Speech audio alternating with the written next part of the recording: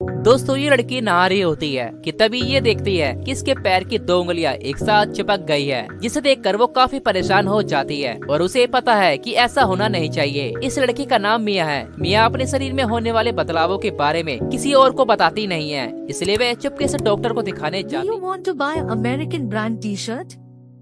Then check out the link in description and buy latest design t-shirt with unleash your style, wear your passion. Explore the trend, be the statement.